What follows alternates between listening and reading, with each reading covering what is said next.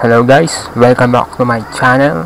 Today I will show you how to get a pineapple in life after survival game. So this is for all the beginners out there and noob players. Yes, and even you are in high level character in life after and you don't know how to get pineapple. So I will teach you all and show you how to get the damn pineapple in life after. So, okay, let's go. Let's get started anyway. So, before we start, just subscribe to my channel. Click the notification bell for to notify you to my newest video tutorial. Okay, so, tingnan na lang natin. And if you don't know some of my language, just follow my best friend arrow here. And you will learn from it, guys. Okay? So, I mean, I'm just using my PC. PC version of Life After, guys. So, ito, tuturo ko sa inyo kung paano ba po kumuha ng pineapple sa Life After. So, guys, nandito ako ngayon sa Santo Pani. Yan, nakikita nyo yun. So, dito, guys, no? so, sa aking map, yan. So, nandito ako ngayon sa level, sa Santo Pani na to, guys, yan. So, as you can see, I'm in Santo Pani map. So, the truth about this of how to get the pineapple. So, let's go. Well, so, let's go and uwi na muna tayo. Let's go home, guys. So, because pineapple is hard to find, guys. So, you cannot find pineapple in anywhere in the map. So, that's the truth. yes, guys. That is the truth, guys. So, you cannot find the pineapple in all of the maps here oops I have strawberry so I want to gather this okay so let's go and let's go home okay so I will teach you where to find the pineapple the damn pineapple so this is for all the beginners guys at sa lahat po dito yan. Sa mga uh, Pilipinong ding naglalaro sa mga Tagalog yan. So, hindi kayo makakahanap ng pineapple guys kung kung kayo ay naghahanap ng pineapple recipe o ng ingredients na pineapple para sa inyong pineapple recipe. So, let's go home to our camp on my Asgard. Okay?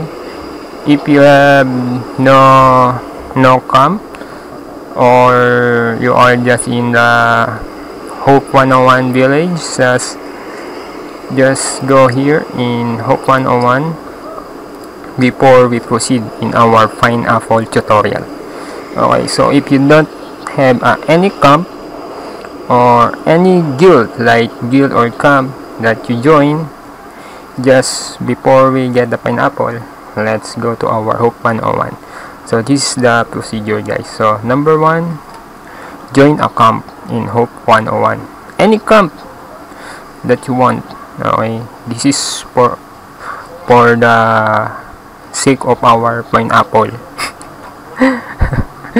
Okay let's go sa Hope 101 guys. Dito tayo pupunta sa Hope 101 kung wala kayong camp or join uh, guild pala. Yan medyo naglalag tayo no? So my signal is lagging.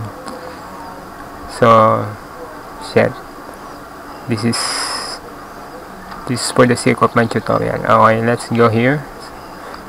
So dito. Yan dahil ako ay may so I have a camp. So I cannot talk to my Fernando. Okay so this is it. Dito kayo pupunta kay Fernando. Yan. So pindutin nyo lang yung F or tap F in your Android phone. Yan. At syempre kakusapin siya no? So, so kaya lang sa akin kasi ano eh may send gift na lang kasi mayroon na kasi akong ah, nang-join na kasi ako. Kaya dito yan kaya kay Billy. Yan uh, camp application administrator pala. Dito pala kay Billy no? So sa mga NPC no? So ang mga mga NPC na yan. So mga non-person character yan no? Mga computer character lang yan. So kay Billy pala pupunta no? Diyan kayo uh, ano ng camp? Yan. So I have more things to do in 101 So, pag may, kung wala kayong camp, yan, mamimili kayo ng camp kay Billy. Ganyan. Okay. So, at kung may camp naman kayo, at kung gusto niyo umalis sa inyong camp, punta kayo sa inyong camp.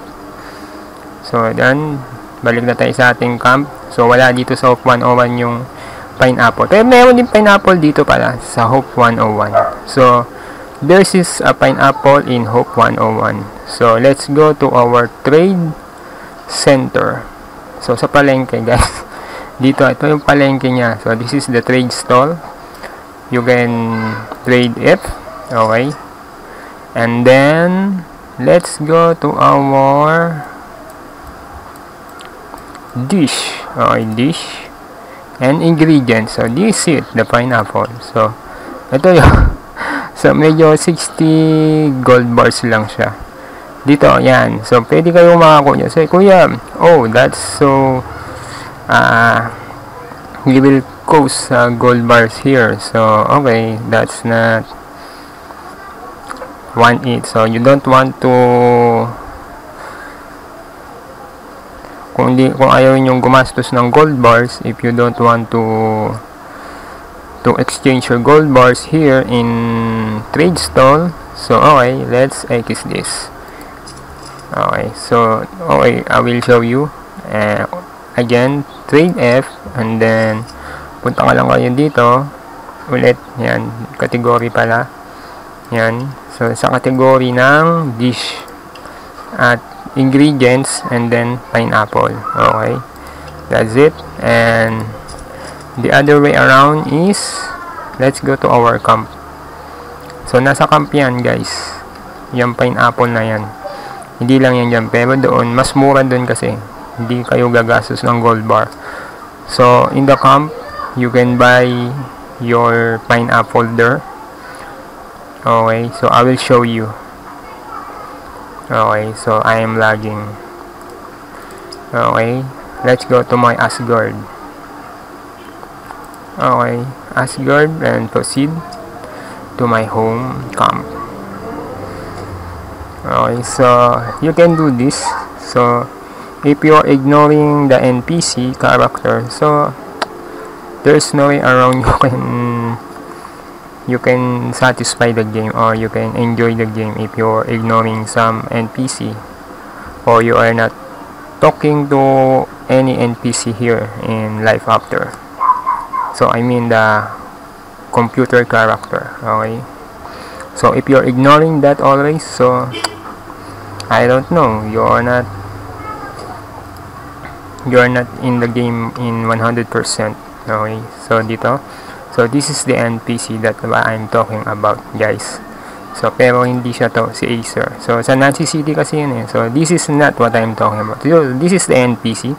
So, just talk to them and just just go here. I have a drill badge now. But, this is not it. I'm just... Oh, shit. Lagging. Okay, let's go to our tutorial. At dito tayo sa ating bank. Yan, dito tayo pupunta sa bank na to guys. Yan, ito yung bank na katabi ng helicopter sa ibaba. Yan. At dito nyo kakusapin itong si Tex Brandon. Yan guys, dito siya. Si Tex Brandon. Yan. Kausapin natin. Yan, so need something, take a look. Is cheap and adequate quantity okay oh you want to give me gold bar? So no I don't have. So ito what you have for sale? So contribution lang ang kailangan guys no? Ito lang ang contribution ko. Yan 11,000 so yan lang ang gagastusin nyo guys dyan para sa ating tutorial na to. Sa pagbili ng pineapple. Okay this is the pineapple what I'm talking about. So 500 dollars. Ito yan dito sa game na to. This is it pineapple seed. So, what the heck? Pineapple seed? Yes. You can plant it in your farmlands. Okay? So, it is every 24 hours, you can buy the maximum quantity of 5. Today's, today's attempt 5. Okay, I will buy it. Okay? For the, and let's go to our home. Okay, just go to your map here. Just click it and then go to your manor and quick travel. Okay? So that's it. We are almost done with our how to get pineapple in life after. And then go to our manor just open our manor at punta tayo dito. Yan. In our farmland. And just plant B control B uh, control plus B in your keyboard. Okay and then just plant your pineapple here. Okay that's it. We are done. So itanim nyo lang yan guys at after 1 to 2 hours you have a pineapple. Okay a pre pineapple ingredients in your pineapple recipe. Okay that is how it's this game okay yan so we are almost finished yan so tapos na tayo guys ganyan lang enjoy nyo lang to ang life after natin and then that's it yan na. Lima yung pineapple yan guys. No? Siyempre, hindi pa yan tutubo. I-water natin. Diligan natin. Water your pineapple. And then, fertilize it. Okay, common fertilize. Okay. And again, so that's it. We are finished guys. I hope you learn a lot with this video tutorial that I'm sharing with you so how to get pineapple so don't ignore npc or character here okay so just just explore around in this game so that you can enjoy this game easy okay? That's it. We are done. Okay na siya guys. So just subscribe to my channel to more videos out there okay guys? Ito lang siya. So this will take 1 to 2 hours okay so after 2 hours ay pwede na ang ating pineapple. At pwede nyo na siyang i-gather okay? You can gather your pineapple here in your farmlands. That's it. We are finished. And enjoy the game a lot